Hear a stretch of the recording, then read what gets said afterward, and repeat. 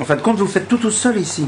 Là, La cuisine et le service. La cuisine, le service, la vaisselle Et le marché. et le marché.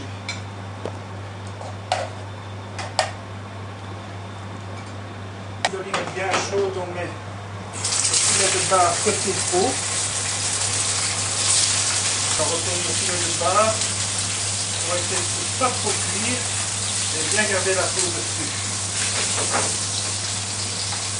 L'établissement existe depuis combien d'années Le, moi j'ai repris l'établissement le 1er mars 2002. L'établissement existe déjà depuis 14 ans.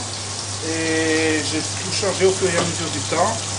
La cuisine était déjà ouverte comme ça La cuisine était déjà ouverte comme ça, mais c'était une cuisine ménagère. Il n'y avait pas de moltini, il n'y avait pas de. de c'était pas une cuisine vraiment professionnelle. Et au fur et à mesure, j'ai fait, on a fait une cuisine professionnelle, on va dire. Donc on, on citronne légèrement avec du citron jaune et du citron vert et filet de bar.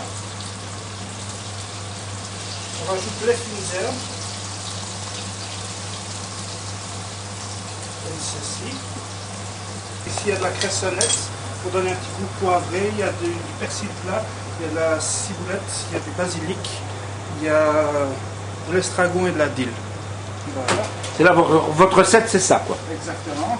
Le reste, il faut savoir le faire. Bon, disons que poêler le, le poisson dans l'huile d'olive, je crois pas que c'est trop compliqué. Des pommes de terre grenaille cuites et des petites pommes de, des petites tomates cerises.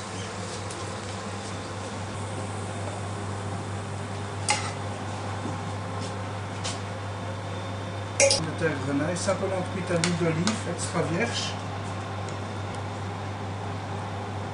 Mon téléphone pour dire ce qu'il y a de, de bon et de frais.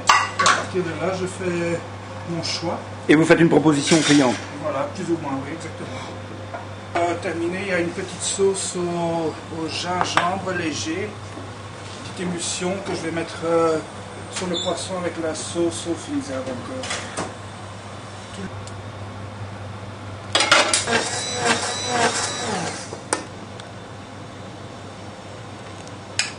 Et cette recette-ci, elle a un nom? Un filet de bar aux fines herbes avec euh, asperges belge rôti, avec euh, un petit, une petite émulsion de gingembre. Merci. Voilà. Le président des maîtres cuisiniers, qui, est- qui était à l'époque Pierre Fontaine, qui m'avait dit un jeune qui démarre, qui est pas mal, euh, tu devrais aller voir. Et puis, et puis je suis venu ici. Et ici, on est à Knock, par exemple. On est à Knock, tout à fait. Et alors, euh, j'ai été très, très étonné par, par le, le talent de Fabrice Villemain. Et, puis, euh, je suis revenu euh, plusieurs fois parce que il a une manière de travailler. C'est un one-man show culinaire. hein, il fait absolument tout ce que, dont je ne connais pas d'équivalent euh, dans le royaume. Et, bon, et tout ce qui fait savoureux et d'une fraîcheur que je serais tenté de qualifier d'insolente. Et, et, bon, on est, heureux de revenir. Et, et on repart léger en plus. C'est vrai que on peut manger 5-6 plats ici, on va pas, on va pas sortir euh, rouge tomate et voilà. Merci.